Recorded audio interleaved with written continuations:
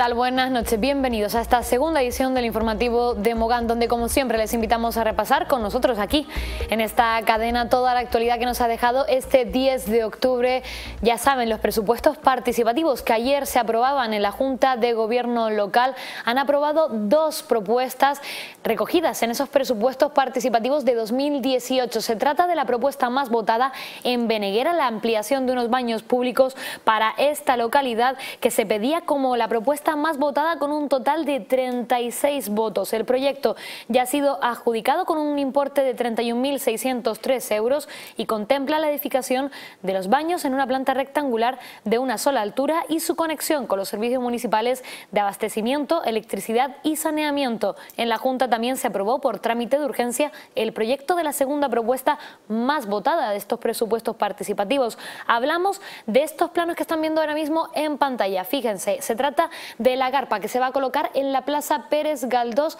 con respecto a estos presupuestos participativos. Será un plano que tendrá como resultado la obra con la que se instalará una carpa fija poligonal con una superficie de un total de 1.160 metros cuadrados en esta plaza. De esta forma, los vecinos dispondrán de un espacio de sombra durante todo el año para la celebración de diferentes eventos como la Feria del Aguacate, también los actos navideños o Mogán Joven y así ahorrarse la partida presupuestaria por parte ayuntamiento que costaba alquilar anualmente una carpa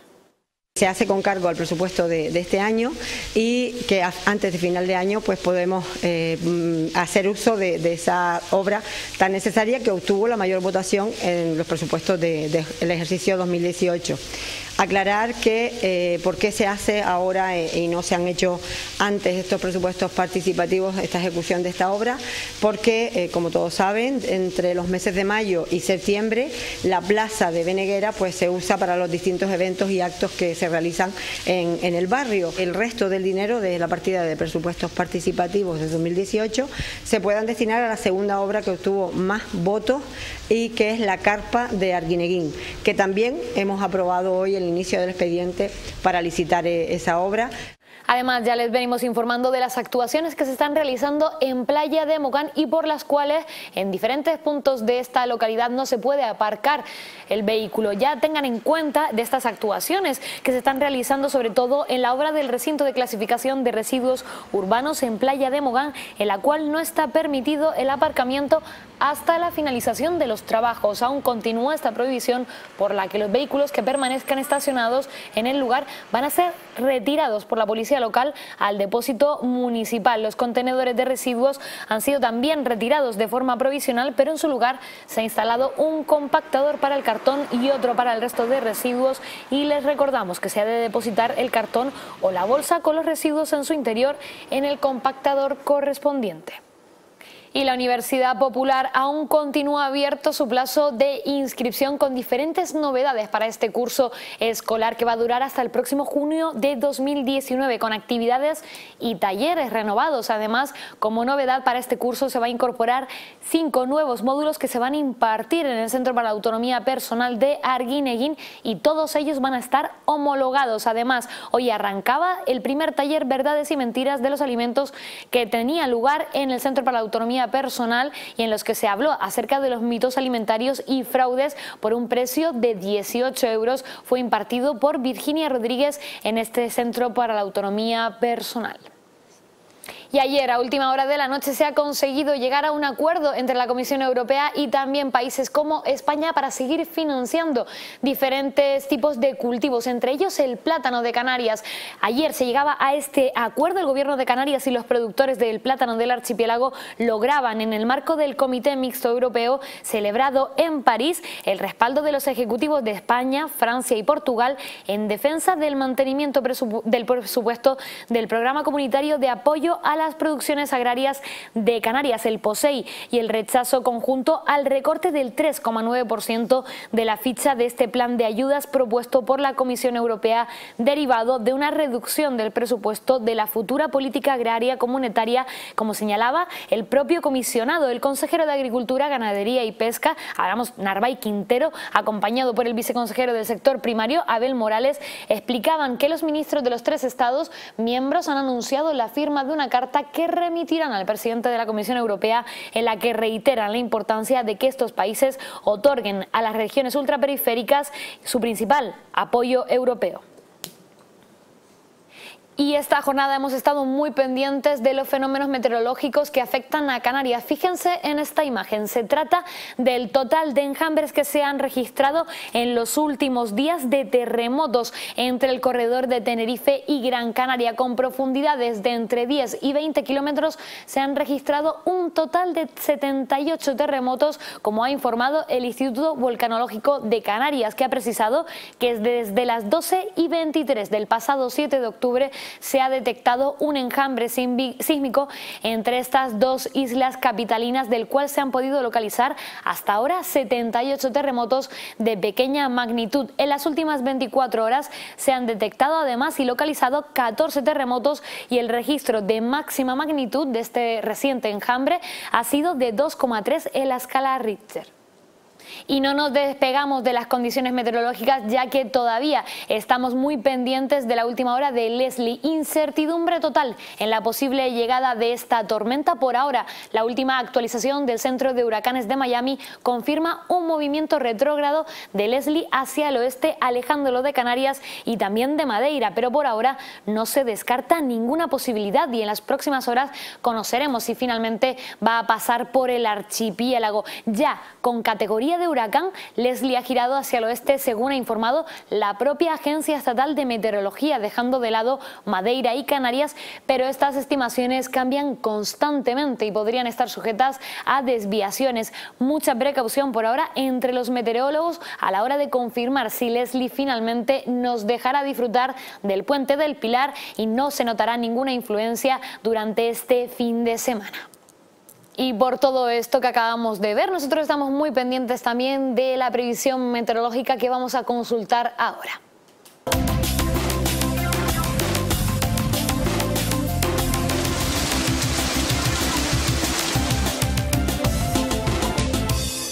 Intervalos nubosos con nubosidad de evolución en horas centrales cuando predominarán los cielos nubosos en zonas de interior. Probabilidad de chubascos ocasionales en el interior de Tenerife y Gran Canaria por la tarde y en Lanzarote y Fuerteventura no se descartan lluvias débiles y dispersas y en Gran Canaria intervalos nubosos con nubosidad de evolución predominarán los cielos nubosos en el interior y sur durante las horas centrales cuando hay probabilidad de algún chubasco ocasional y al final del día se van a ampliar varios claros, temperaturas con pocos cambios o en ligero descenso.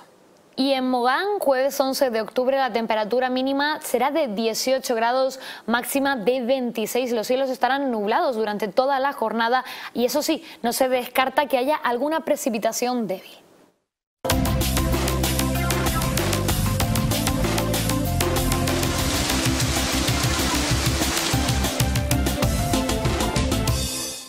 Esperemos que estas lluvias que venimos anunciando no afecten a las actividades que se van a realizar durante este fin de semana en el municipio en concreto. Hablamos de una prueba muy importante, la quinta edición de la Cebuche Trail que ha sido presentada hoy en las oficinas municipales del Ayuntamiento de San Bartolomé de Tirajana y lo ha hecho debido a que se unen tanto el municipio de Mogán como San Bartolomé para la realización de esta carrera que va a tener como punto neurálgico la población de Cercados de Espino en el barranco de Arguineguín. Una carrera que además va a contar con dos modalidades habituales, la prueba larga de 26 kilómetros y la prueba media de 16 kilómetros y además varias novedades que nos cuenta su propio organizador, Alejandro Araña.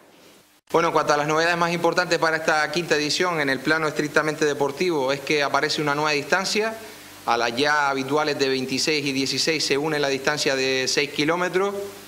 Eh, esto es sobre todo porque muchísima gente nos había demandado pues el tener una distancia mm, pues más asequible a, mucha gente que quería correr nuestra, nuestra carrera. Y otra de las novedades importantes de esta quinta edición pues es la ubicación del centro neurálgico de la prueba, que este año va a estar ubicado en el campo de fútbol de Cercado Espino, debido a que este año tenemos 600 participantes y que el lugar anterior se nos quedaba pequeño, pues yo creo que veremos, haremos valoración después de la prueba, pero creemos que, que el cambio es para, para positivo. Lo que les decía, las distancias se mantienen de 26 y 16 con el desnivel acumulado de 2.000 para la de 26 y de algo más de 1.000 para la de 16 kilómetros y con esos 500 de desnivel positivo que tendrá la de, la de 6 kilómetros. Esa esencia que tiene la Cebuche Strike, que es la involucración de todo un pueblo en ese evento, yo eh, si de algo tengo un especial recuerdo de cada una de las ediciones es ver a las 4 y media, 5 de la mañana a todos los niños del pueblo corriendo por esas calles diciendo a Cebuche, llega la Cebuche, llega la Cebuche. La verdad que se te ponen los pelos de punta. Eh, todos esos pequeños que a las 5 de la mañana salen a las calles acompañan muchas veces a sus papás a limpiar caminos, a desentar senderos, eh, de alguna manera a, que se están siendo educados a ser sensibles con el medio ambiente y luego pues todo el fenómeno social que, conlleva este tipo de pruebas cuando se nota que están hechas pues eh, con el corazón y con una ilusión que para todos es patente. Estamos en esta quinta edición porque las cosas que se hacen con el corazón salen bien, siempre lo he dicho, y por lo tanto pues deseo muchísima suerte a todo ese equipo, a todos esos voluntarios, eh, que estoy seguro van a marcar un antes y después en esta quinta edición. Esta prueba yo creo que tiene algo especial, algo tiene especial porque es diferente a las demás, es diferente en todo, se involucra todo un, pueblo, todo un barrio y, con mucha gana. Eh, la verdad que este año he tenido la suerte de, trabajar un poquito más con ellos y, ellos transmitirme el, trasfondo de lo que es la carrera, cómo se trabaja y cómo hacen una prueba que es diferente, vuelvo y repito, a lo que puede ser otra. ¿no? tanto la administración de Mogán como de San Bartolomé, como que lo que hemos hecho es ayudarle en todo lo que podamos, ¿no? Y vamos a seguir haciéndolo. A, veces a mí hasta se me parece que, estamos haciendo hasta poco con todo lo que le ayudamos, pero me gustaría siempre hacerle más y, en nuestro grupo de gobierno siempre hacer más. Y tener una fiesta con 600 personas en el mundo del deporte en, Cercado de Espino es, un barrio que se lo merece y me alegra que la gente siga trabajando. Agradecer al Ayuntamiento de Mogán, el que estos dos ayuntamientos que compartimos ese, barranco de, de pues realmente podamos hacer posible que el barranco pues sea uno solo. Y no lo que nos pasa en otros sitios donde el barranco, que es uno, divide. En este caso, eh, siempre el barranco pues, nos ha unido a, los vecinos de un lado y del otro. Estas eran las principales impresiones que se han desarrollado en esta rueda de prensa de la presentación de la Cebuche Trail que se va a celebrar este fin de semana, en concreto el domingo. Ya saben, en Cercado de Espinos. Nosotros volvemos mañana a partir de las 3 de la tarde con todas las novedades del municipio y también muy pendientes de esa tormenta Leslie. Hasta entonces, que pasen muy buena noche y disfruten de la programación.